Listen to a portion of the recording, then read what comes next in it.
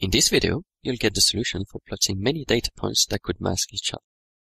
With a large dataset, or with many data points having the same value, the resulting graph can be misleading because it doesn't convey the true number of data points plotted. Graphical elements will hide or mask each other. This is called overplotting. We're going to see how to slightly jitter points to minimize overplotting.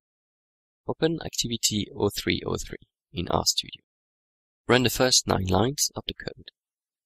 Notice that with nrow mpg, we're expecting 234 data points to appear on the graph. We plotted the consumption in city and on highway for each of the 234 cars in the dataset. How many data points do you see on the plot? Certainly fewer than 234.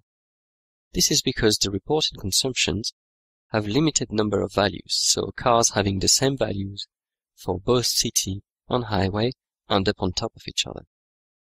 To minimize this, we can use the parameter position with the function position jitter to randomly jitter the point. Let's see how this is done. Run the second ggplot command. With position jitter width is 0.1, we randomly move each point by a small amount horizontally.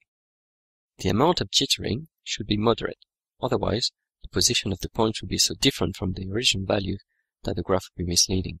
You can also use the aesthetics alpha to make the point slightly transparent so that they cannot hide each other. Set it to a number between 0 and 1, with 0 being completely transparent and 1 being completely opaque. We can now see most of the 234 points and have a better sense of how many cars are represented. We saw how to use position jitter to avoid overplotting by randomly moving the data, but without producing a misleading graph.